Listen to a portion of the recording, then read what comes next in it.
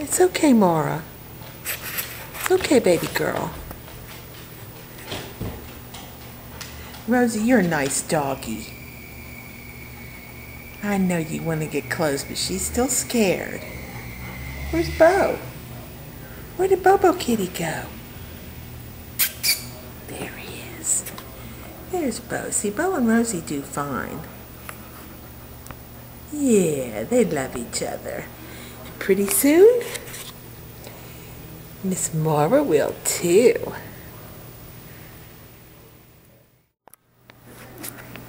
Okay, so there's Maura.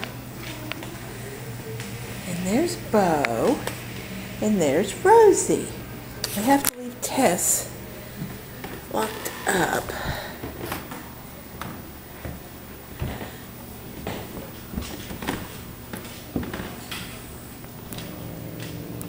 I know, it's okay. Hey, Rosie. Rosie. Come here, Rosie. Come here, Ro. Come here, girl. I know. Kitty scares you. That little teeny kitten scares Rosie.